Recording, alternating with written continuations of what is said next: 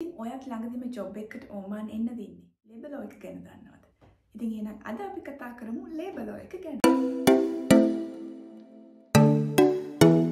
හයි guys කොම දවලටම ආදරෙන් පිළිගන්නද video එකට ඉතින් මං අද කතා කරන්න හිතුවේ මේ අවුරුදු ජූලි මාසේ වෙනස් වුණ ලේබලෝ එක ගැන. ඉතින් මුලින්ම කතා කරමු working hours ගාන. දවසකට වැඩ කරන්න ඕන පැය ගාන.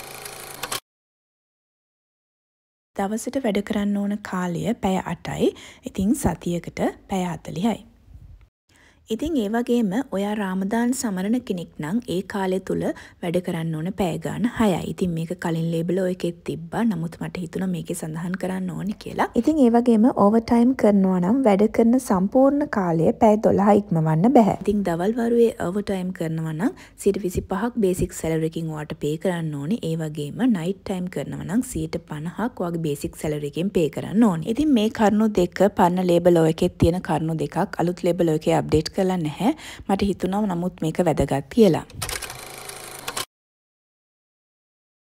අන්පයා තර්මිනේෂන් එකක් වෙනවනම් අලුත් ලෙබලෝ එකට අනුව 12 months salary pay කරන්න ඕනේ. කලින් තිබ්බේ 3 months salary pay කරන්න ඕනේ unfair termination එකක් වෙනවා නම් නමුත් දැන් මාස 12ක සල්ලි වට දෙන්න ඕනේ unfair termination එකක් ඔයාට වුණොත්. ඒ working performance දුර්වල නම් ඔයාගේ employerට පුළුවන් ඔයාව terminate කරන්න.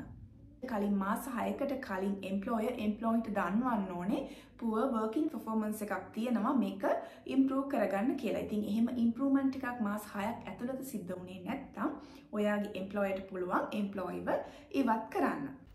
ඉතින් ඒ වගේම එම්පලෝය කෙනෙකුට එම්පලෝයි කෙනෙක් රැකියාවෙන් ඉවත් කරන්න බැහැ එයාලගේ ජෙන්ඩ එක ප්‍රග්නන්සිය එක එතකොට ශෝෂල් ස්ටේටස් ඒ වගේම ආගම ජාතිය භාෂාව මේ දේවල් නිසා.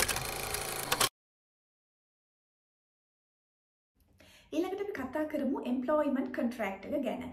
ඉතින් ටූ කොපීස් වලින් මේක තියෙන්න ඕනේ. ඒ වගේම ඇරබික් භාෂාවෙන් තියෙන්න ඕනේ එකකින්. ඒ වගේම කම්පිටන්ට් ඔතොරිටි එකකින් මේක ඇප්‍රූව් වෙලා තියෙන්න ඕනේ. ඒ වගේම කොන්ට්‍රැක්ට් එක නියමිත කාල සීමාවකට සඳහන් කරලා තියෙන්න ඕනේ. ඒ වගේම මේක රිනිව් කරනවා නම් both parties agreed වෙන්න ඕනේ. employment contract එක තව දුරටත් automatically renew වෙන්නේ නැහැ. ඒ වගේම employment එක more than 5 years continue වෙනවා නම් ඒගොල්ලෝ සලකනවා unlimited employment එකක් කියලා. ඉතින් ඒ වගේම ඔයගේ contract එක renew කරනවා නම් ඒගොල්ලෝ සලකන්නේ ඔයගේ original service period එකම extension වුණා කියලා. ඒ කියන්නේ ඔයගේ service එකට ඒ කාල සීමාව ඔක්කොම ඇතුළත් වෙනවා. ඒ වගේම employment contract එකේ සඳහන් වෙන්න ඕන දේවල් ඒගොල්ලෝ mention කරලා තියෙනවා. ඔයාගේ employer ගේ නම, එතකොට company එක, company address එක, ඒ වගේම worker ගේ name එක, worker ගේ උපන්දිනය, ඒ වගේම එයාගේ basic salary එක, ඒ වගේම එයාගේ nationality එක, එයාගේ residence එක, ඊළඟට එයාට allowances දෙනවා නම් ඒවා, එතකොට contract period එක සහ working type එක, ඒ වගේ මේ වගේ conditions. ඉතින් මේ හැම දෙයක්ම employment contract එකේ සඳහන් වෙන්න ඕනි කියලා අලුත් ලේබලෝ එකේ අප්ඩේට් කරලා තියෙනවා. ට නිවාඩු ගැන කතා කරමු ඉතින් නිවාඩුවලත් ගොඩක් ලොකු වෙනසක් අලුත් ලෙබලෝ එකකින් සිද්ධ වෙලා තියෙනවා. ඉතින් මුලින්ම කතා කරොත් මැටර්නිටි ලීව් ගැන. මැටර්නිටි ලීව් වැඩි කරලා තියෙනවා 98 days දක්වා. ඉතින් 98 days වලින් පස්සේ ඔයාට පුළුවන් අවුරුද්දක් දක්වා ඔයාගේ දරුවගේ වැඩ කටයුතු සඳහා පැයකට කලින් ඔයාගේ වර්කින් ස්ටේෂන් එකෙන් පිට වෙලා යන්න. ඉතින් ඒ වගේම ඔයාට ඕනනම් අවුරුද්දක් ඊට පස්සේ නිවාඩු ගන්න පුළුවන්. වැටුප් රහිතව ඔයාගේ දරුවගේ වැඩ කටයුතු සඳහා. ඉතින් ඒ වගේම ෆාදට පුළුවන් දවස් හතක් ලියව් ගන්න බබාට 98 days වෙනකම්. ඊළඟට සික්ලිව් ගැන කතා කරොත් කලින් දවස් 70යි ගන්න පුළුවන් දැන් දවස් 182ක් ගන්න පුළුවන්. ඉතින් ඔයාගේ පළවෙනි දවස් 21 තමයි 100% සැලරි පේ කරන්නේ. ඊළඟට 22 වෙනි දවස් ඉඳලා 35 වෙනි දවස වෙනකම් ඔයාගේ සැලරි වලින් 175යි පේ කරන්නේ. ඊළඟට 36 වෙනි දවසේ ඉඳලා 70 වෙනි දවස වෙනකම් ඔයාගේ සැලරි වලින් 150යි පේ කරන්නේ.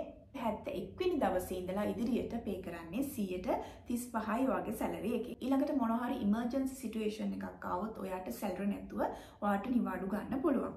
ඒවගේම කලින් එම්පලොයිස්ලට පුළුවන්කමක් තිබ්බා තමුන්ගේ නිවාඩු ඉතුරු කාලය ඉදිරියට ගෙනියන්න අලුත් ලේබලෝ එක ඉඳලා එම්පලොයිස්ලට ඉදිරියට ගෙනියන්න පුළුවන් දවස් තිහක නිවාඩු කාලයක් විතරයි ඊළඟ අවුරුද්දට. කම්පැනික පැත්තෙන් එම්ප්ලොයිස්ලට වෙන්න ඕන දේවල් මේක මේෂන් කරලා තියෙනවා ඉතින් අපි ඒව ගැන කතා කරමු. ඒ අතරින් පළවෙනි එක තමයි වර්කින් වුමන්ස්ලා ඉන්නවා නම් ඒ කම්පැනි එකේ 25කට වඩා එයාලට රෙස් ප්ලේස් එකක් හදලා තියන්න ඕනේ. ඊළඟට එම්පලෝය ඉඩ දෙන්න ඕනේ වර්කට ටෙම්පරලි අනිත් කම්පැනි එකක වැඩ කරන්න. ඊළඟට වර්ක කෙනෙක්ට බැරිනම් නයිට් අවර්ස් වල වැඩ කරන්න එයාට ඩේ ටයිම් එකේ වැඩ කරන්න එම්ප්ලෝය ඉඩ දෙන්න ඕනි. ඉතින් මෙන්න මේ වගේ දේවල් ටිකක් තමයි අලුතින්ම ඕමාන් වල ලේබර් ලෝ එකට ඇඩ් වෙලා තියෙන්නේ සහ තිබ්බ ලේබර් ලෝ එකෙන් පොඩ්ඩක් වෙනස් වෙලා තියෙන්නේ. ඉතින් මේ වීඩියෝ එක බලන ඔයා සමහර විට ලේබර් ලෝ එක ගැන මීට වඩා දෙයක් දන්නවා වෙන්න පුළුවන්. නැත්තම් මේකට තව දෙයක් ඇඩ් වෙන්න ඕනි කියලා හිතනවා වෙන්න පුළුවන්. නැත්තම් සමහර විට මේ දේවල් වල පොඩි අඩුපාඩුවක් තියෙනවා කියලා හිතෙන්න පුළුවන්. ඉතින් එහෙම වුණොත් කමෙන්ට් එකක් දාගෙන යන්න අමතක කරන්න එපා. ඉතින් එහෙනම් මේ වගේ තවත් විදිහින් අපි හමු වෙමු.